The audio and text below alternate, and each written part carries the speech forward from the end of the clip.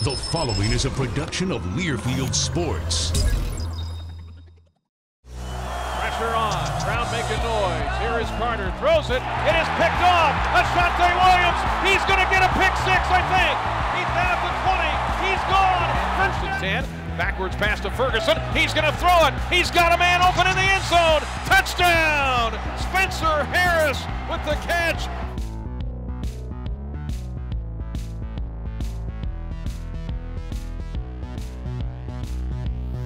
And hi, everybody. Brian Barnhart reporting from Champaign here on Fighting Illini Insider, where we join you uh, without a football game to talk about this week. It was a bye week for Tim Beckman's Fighting Illini football team, but we will talk basketball with Illini women's basketball coach Matt Bollant. Also be joined on the set this week by Illini men's coach uh, for the men's basketball team, John Groce. And we'll talk about the Illini Street Jam, which took place recently at the start of basketball practice at the corner of Wrights and Green on campus. All that straight ahead, but first a look at Illini Street Jam, then a visit with the coaches here on Fighting Illini Insider.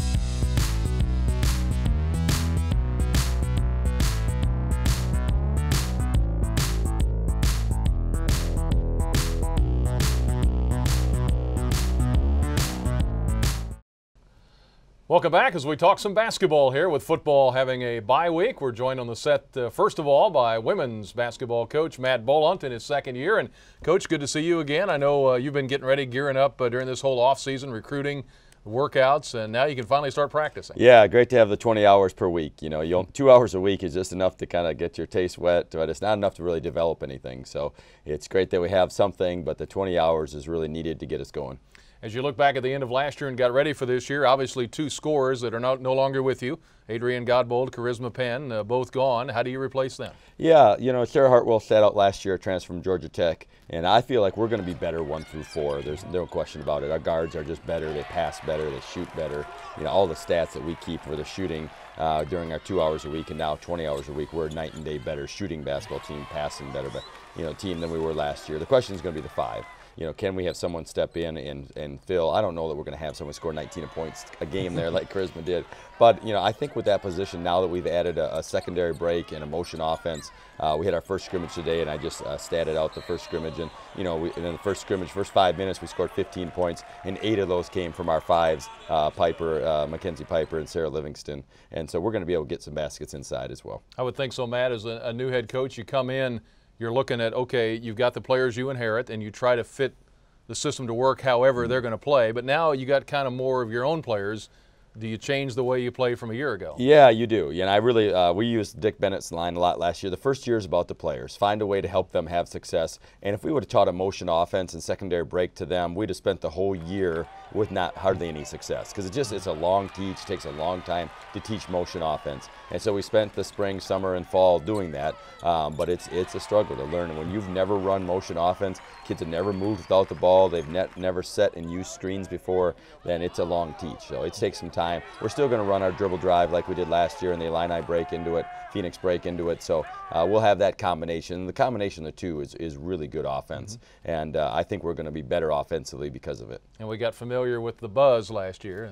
We did. We set the Big Ten record for the most forced turnovers in the history of women's basketball in the Big Ten last year. So yeah. Averaged 25.6 forced turnovers a game. We set the steal record, the Big Ten, the most steals in the, in the history of the Big Ten as well. So uh, certainly it gave us a bonus. We're going to be better in our man, and it, that will also help us in the buzz as well. We played it more than we wanted to last year because we just weren't very good in our man, or not as good as we wanted to be. So the combination of man being better this year will also help our buzz. Well, Matt, tell us a little more about uh, the new players this year, or, or returning faces. Who, who, are we going to see on the court? Yeah, Sarah Livingston's you know sat out the transfer from Georgia Tech, and she was one of our best players on the court every day last year. Uh, I think Alexis Smith has gotten a lot better from last year. Certainly, we're going to count on Ivory Crawford and Amber Moore, you know, a senior and junior there to do a lot for us. Uh, and then it'll be interesting in new kids. Sarah Livingston's doing extremely well. She has just learned. You know, she came in, and I would have probably told you the summer when she got here, she was our number three post, and as of today, she's our number one post. So uh, it'll be interesting to see as she keeps to learn learning and to see how she progresses uh, as well. You know, Kylie Simmons is a transfer that has to sit out this year. She's been uh, just amazing in practice. But the kids that are, are, are, returning, you know, Alexis and Amber and Ivory, we're expecting them to do good things. Certainly with Sarah Hartwell. Taylor Gleason's a freshman from Michigan. Should have won the Miss Basketball uh, in the state of Michigan. Had she gone to Michigan or Michigan State, I think she probably would have been the Miss Basketball. But because she chose us, um, they gave it to another player. So, but she's had a really good fall as well. Jacqui Grant's a 6'3 girl from Chicago very talented. And so we're excited about our new kids. And, you know, eight of our, our 14 are new players that we brought in. And uh, those kids are very talented. And along with the returners, I think we're going to have a good mix. Tell me about the, the schedule this year. That's always important, too, as you set that up. It is. You know, our first game's at Bradley, and they're going to have a, a, a, kid day and have uh, every kid in Peoria is going to be at that game. Uh, and they're going to bus them in. So probably have five to 7,000 kids at that game. Uh, then we have some home games. we got four home games. We'd love to have a crowd come out and support us there. Uh, and then we go to Cancun and play North Carolina, who had the number one recruiting class in the country. Uh, their freshman class is by far the best in the country. Uh, play Arizona State is very good, and Arkansas State. Come back and play Colorado, at Colorado, at Georgia, at Georgia Tech. So we have a, have a very tough schedule. Play Seton Hall and Tennessee Martin at home. Tennessee Martin was an NCAA team last year. Returned their two top players from that. So we have a very challenging schedule, and it's gonna uh, we're gonna see where we're at.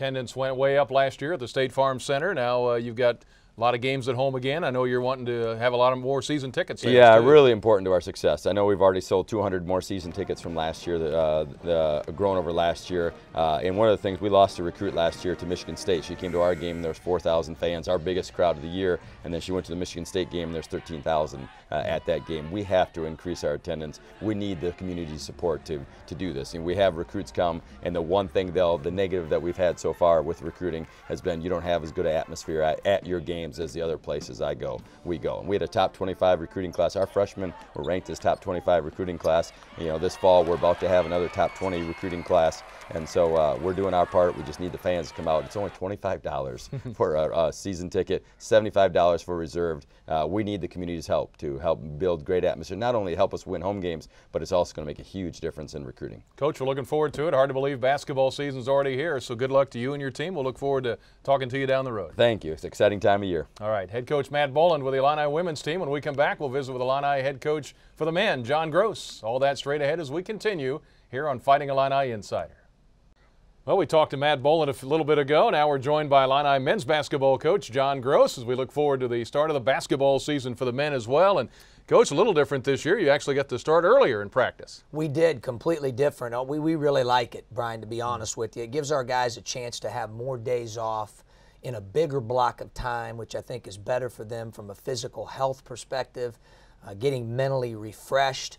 Uh, it's also better from the standpoint of teaching. You know, if, when I was a classroom teacher, you, you had those kids that tried to cram for test mm-hmm. at the last 2nd mm-hmm. You know, I felt like when we started on October 15th, especially with a new team like we have this year with nine new players, you were cramming everything in in about two weeks to play an exhibition game. Now you have a longer period of time. I think it makes teaching the game uh, a lot easier. One of the things that was kind of fun, an event uh, that you and the marketing uh, team came up with, was the Street Jam. Uh, the other night uh, out on campus. Talk about that, how that went. Well, it was an awesome event, and uh, the DIA and specifically marketing, you know, Jenny Larson and her crew did a fantastic job. It was as good a preseason event as I've ever attended. Um, I thought it was terrific and really drummed up a lot of excitement for the upcoming basketball season. You mentioned uh, new faces, and certainly uh, not every year you get this many new faces on one team, do you? Let's hope not. I don't know if I can do that one again. Yeah. So nine of them, uh, but it also makes uh, makes you feel young. I mean, that's mm-hmm. for sure. Uh, you're starting at uh, you know ground level. I keep reminding our staff in order in certain areas of our system, whether it's offensively and defensively, in order to get to first grade, you got to pass kindergarten, and then to get to second grade, you have to pass first grade. So, you know, we're going through some of that right now. But I like our guys. Uh, we have great character and uh, really great morale on our team, which is certainly a, a great starting point. And part of that, uh, as you brought them in as, as freshmen when they got started in school during the summer and went through some SEALs training. We're going to see a little video on that later, but certainly trying to get them acclimated to, to college life first. No question. I think the transition, you know, from uh, obviously from high school to college or here to Illinois, which is such a great academic institution as well as high level basketball. So they're doing both of those things for the first time you know, at this level. And, it, and there is a transition period, that's for sure. The summer months uh, allowed us, I think, to acclimate them a little bit easier, so we're thankful for that. You do have a lot of new players, but there are some familiar names. Uh, Nnanna's back, Nnanna Egwu, you got Tracy Abrams, Mike LaTulip, Joe Bertrand. You can kind of build on those guys to start, I guess. We can, and those guys have done a great job, whether it's Joe coming off of the injury uh, and getting himself in shape, his strength gains, his body fat's dropped, uh, Nnanna up to 250 pounds. Uh, Tracy, I think, has become a guy uh, much more uh, steady with his mindset, which has really helped him. I really like how he's really helped our new players throughout the summer and the fall. Um, you know, LaTulip also has grown in a lot of areas. Uh, Rice has as well. Mm-hmm. Of course, over the last year, you know, Rice has made strides in several areas his body, strength, conditioning, his game. So, all those guys certainly have helped us lay a great foundation along with the seniors that just left here heading into mm-hmm. year two. Tell me about uh, the schedule now as you look at it for uh, this 2013 14 season. Well, right now the thing we're most worried about is practice, you know, right now. So for us, you know, our, our, first exhibition game is October 24th against McKendree, and that's really all we're worried about, especially with a new team. You know, one day at a time. We we say as a staff every day is day one. Uh, and that's how we've approached it, and that's the mindset we want our players to have. Yeah. As you look at it, though, as you look at uh, everything, all the usual games will take place, the Missouris and all of that. So that really hasn't changed. Uh, a lot of that is set for you in advance. It is. We have a very unique, you know, non-conference schedule in that we uh, have a United Center game every year, a United Center return, uh, the Missouri game in St. Louis, the ACC Big Ten Challenge. So a lot of those games are set in stone, uh, and we like them. I think it's great for uh, the university. It's great for our program, great for college basketball, and you know we're excited to tackle it. We are. Uh, it's going to be challenging for sure. Uh, I believe we play seven contests here at home and six either away or on neutral sites. So we're going to find out a lot about our team very quickly. And you're going to play in a building with a new name. State Farm Center. We are. You yeah, got to get used to that. yeah, very, very excited to partner with State Farm. Uh, just quality people and and uh, uh, you know basically a company that's that's recognized globally you know as a powerhouse. So we we feel very blessed to be associated with State Farm. Real quick coach as you look at uh, year number two and obviously a lot of the guys that uh, were with the team last year were not your players. Now you've brought in new guys and developing those. Will the offense will the defense look much different this year or not? There'll be some things that are the same. You know there'll be some things that are different based on our personnel you know and, and obviously I mean we we talk about guys we've brought in. You know, once you've played for us, you're our guys. Mm-hmm. I mean, those guys last year will always be our guys. Sure. And, you know, but we're excited here with year two. There'll be some adaptation for sure. No question about it. And I think we wrinkle our system every year based on our personnel strengths, but you know, this year maybe more so than normal. Well, Coach, we're looking forward to it. Start of practice, as you say, every day, gearing up. The orange and blue scrimmage not far away. Then the first exhibition game, and you'll kind of build from there. So we'll look forward to it. Well, thanks. It'll be here before you know it. Thanks, Coach. Thank you. All right, we appreciate it. Head Coach John Groce with us here. When we come back, we'll take a look and talk about that uh, SEALs uh, training they went through earlier this summer. All that straight ahead as we continue on Fighting Illini Insider. Welcome back. Brian Barnhart here on Fighting Illini Insider. Well, this last summer, the Illini men's basketball team underwent some rigorous training as the Navy SEALs came to town. Let's take a look at that right now. Let's go. Let's go. Let's go. I probably put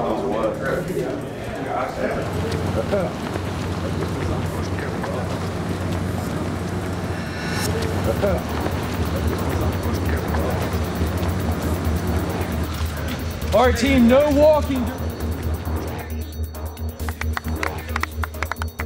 If you are true champions, what we do in the next three days will not phase you. Champions love adversity. They love it when it sucks. They're not going to whine and complain. They're like, bring me, more, bring it, give me more. Is that all you got? I want more. That's the attitude you got to have. Is that all you got? Bring it. Go. Face any push-up position, you're going to lose your spot. Start by doing up. On your belly. On your belly. So what you got over there. Let's go, Troy. Hey, get fish out. We're almost there. Let's go, baby.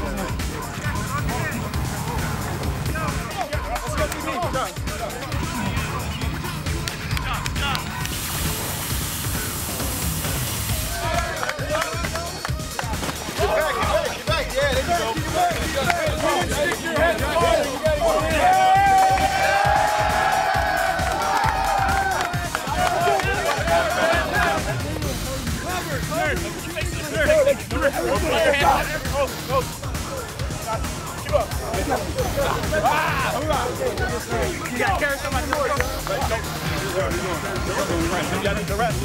matter how much I encourage you, you can still win if you use this. One, two, three, hurry Put the color out! One, two, three, hurry up! Keep it up, keep it up. We got it, we got. Keep pushing. Hold it up, hold it up.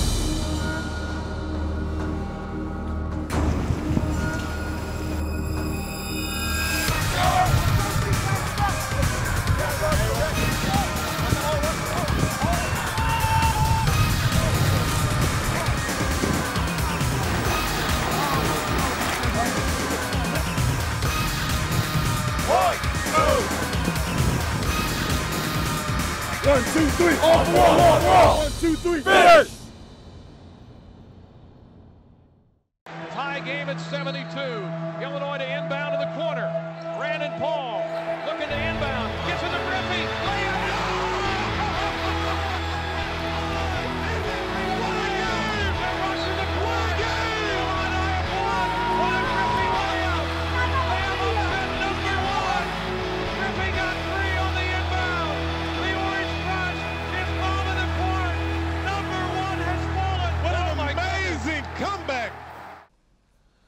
And that's going to wrap it up for this week's show from Champaign on Fighting Illini Insider. And we appreciate our coaches being with us Matt Bollant, the Illini women's coach, and Illini men's basketball coach John Groce.